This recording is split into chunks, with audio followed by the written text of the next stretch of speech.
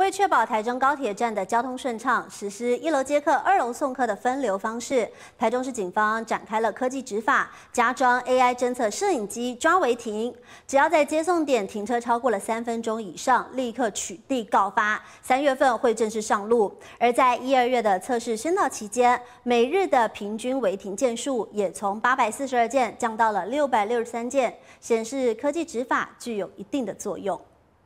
五日高铁二楼送客区白色轿车违规停车超过三分钟，只要站务人员上前劝导才离开。但这样的服务直到二月底、三月开始将会直接开单。呃，会截取车辆违规车辆的车牌来做举报。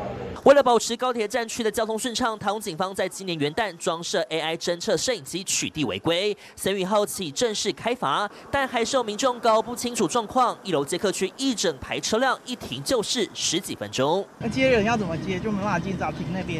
毕竟人都有三不变啊，呃，应该是。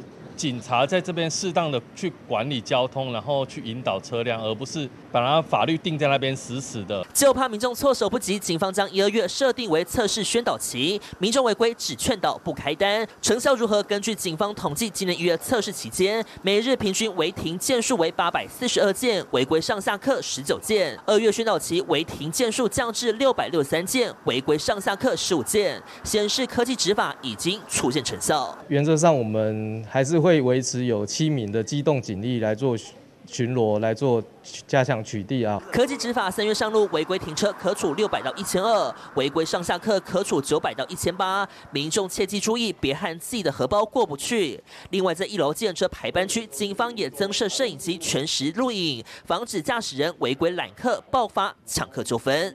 记者陈章王一章台中报道。